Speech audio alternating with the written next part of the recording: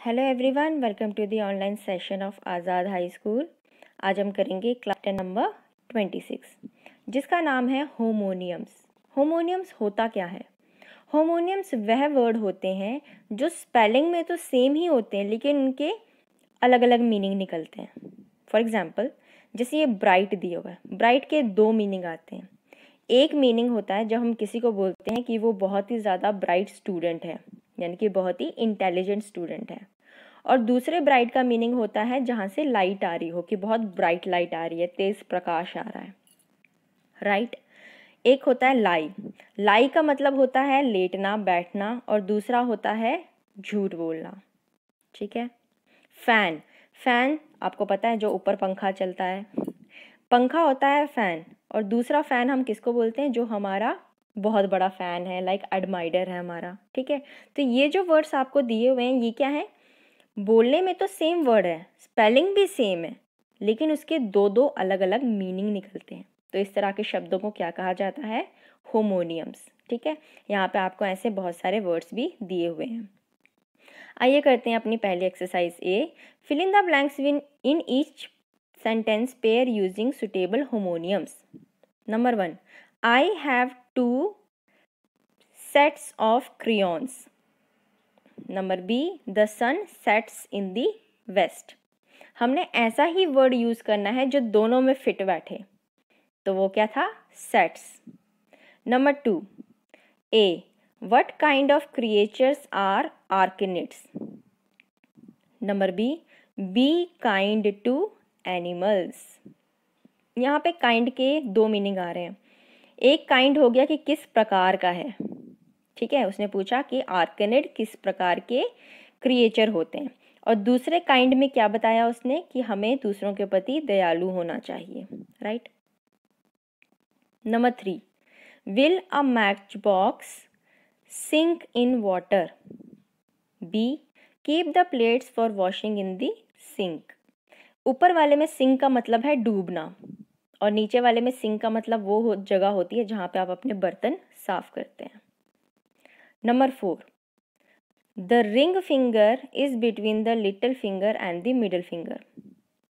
B I heard the phone ring at midnight.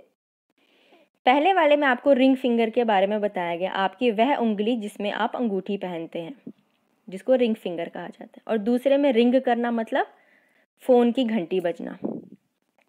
Number five this solution of these two chemicals is use as a pesticide B part में is there a solution to the problem of poverty पहला वाला solution क्या है? किसी दो चीज़ों का mixture उसको सोल्यूशन बोलते हैं। और दूसरा सोल्यूशन आपको दिया है कि किसी समस्या का समाधान निकालना। ठीक है? Number six can you play some music please और बी में how long do you play after school in the evening तो यहाँ पे दो मीनिंग हैं प्ले का। प्ले का होता है कोई चीज़ चलाना और दूसरा प्ले का मतलब होता है खेलना। Number seven my bag is heavy but yours is light B the little bulb doesn't give enough light to read पहले वाले में लाइट का मीनिंग क्या था? हल्का। और दूसरे वाले में लाइट का मीनिंग है प्रकाश देना। Number eight Meena carries her teddy bear wherever she goes B part में है this table can not bear the weight of that box अब यहाँ पे बियर दिया। फ़र्स्ट वाला तो टेडी बियर मतलब कि भालू। और दूसरे वाले में बियर का मतलब होता है सहना, कि वो टेबल नहीं सह पा रहा है उस बॉक्स का वेट। तो बियर का मतलब एक होता है भालू और दूसरा है सहन करना। Number nine we left the playground at seven o'clock last evening B part में look left and right before crossing the road first sentence में लेफ़्ट का मतलब कि चले जाना। और दूसरे में लेफ़्ट का मतलब डायरेक्शन से है। कौन सी? Left hand side number ten there is an object inside the pipe blocking the flow of water B part we must object to the closing of the park first sentence में object का मतलब क्या है? कोई चीज़.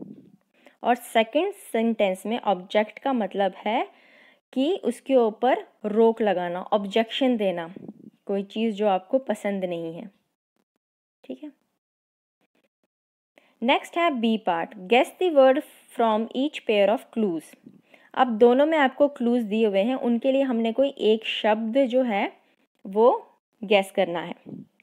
Number one this little round thing tells us the time look at something closely अब वो time भी दिखाता है और किसी चीज़ को एकदम क्लोजली देखने को भी वो शब्द आता है तो वो क्या होगा? Watch number two we hit a ball with it a black flying creature that comes out at night तो इसका क्या होगा? Number three M S Dhoni plays this game a chirping insect like a grasshopper तो इसको बोलते हैं cricket cricket game भी होता है और क्रिकेट होता है, एक कीड़ा होता है छोटा सा जो ग्रास होपर की तरह दिखता है, उसको भी क्रिकेट बोलते हैं. Number four a flat surface a vehicle that flies in the air तो उसको क्या बोलते हैं? प्लेन प्लेन मतलब एरोप्लेन को शॉर्ट में प्लेन भी बोलते हैं और जो फ्लैट सरफेस होता है उसको भी क्या कहते हैं? Plane number five a rectangular और square container to hit rectangular और स्क्वायर कंटेनर को क्या बोलते हैं हम? बॉक्स और बॉक्स करना मतलब क्या होता है? किसी को मारना भी. Number six a return message और दूसरा the alphabet is made up of this return message लिखते हैं हम क्या है? लेटर ठीक है? और अल्फ़ाबेट को भी लेटर ही बोलते हैं। Number seven correct opposite to left ये क्या होगा? Right number eight similar to to be fond of तो इसके लिए क्या होता है? लाइक like करना। लाइक like का मतलब किसी को पसंद करना और लाइक like का दूसरा मतलब होता है सेम सेम कि ये दोनों एक जैसे दिखते हैं तो वो भी लाइक होता है। तो एट्थ का आंसर है like number nine kind right using the key pad तो की पैड में हम क्या करते हैं? टाइप करते हैं। तो इसका आएगा type number ten go away a holiday from work work से हॉलीडे लेना या किसी को कहना चले जाओ तो उसके लिए हम क्या शब्द का प्रयोग करते हैं? लीव ठीक है? लीव का मतलब क्या होता है? जाओ। और दूसरा मतलब होता है छुट्टी लेना। ठीक है तो टेंथ में क्या आएगा? लीव तो ये था हमारा चैप्टर होमोनियम्स आई होप आपको समझ में आया होगा। अगर आपको मेरी वीडियो पसंद आए तो इसे लाइक ज़रूर करें। Thank you very much and have a nice day